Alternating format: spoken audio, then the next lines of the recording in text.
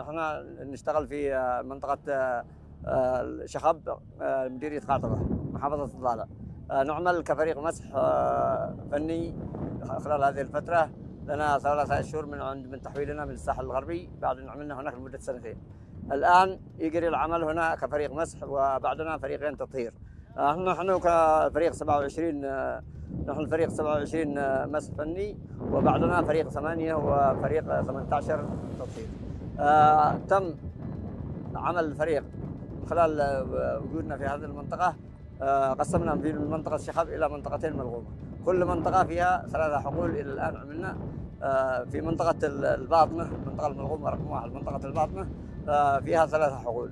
آه، يعمل فيها الفريق التطهير بعدنا فريق التطهير رقم ثمانية. آه، تم اكتشاف عدد من الألغام وحصلت حوادث في هذه المنطقة. مساحة الحقول الذي أشرناها تأشير نحن آه، كفريق 27 آه، أشرنا ثلاثة حقول، الحقل الأول 8100 متر قد تم تطهيره من قبل الفريق رقم ثمانية. الحقل رقم اثنين الآن 13700 متر يجري العمل فيه.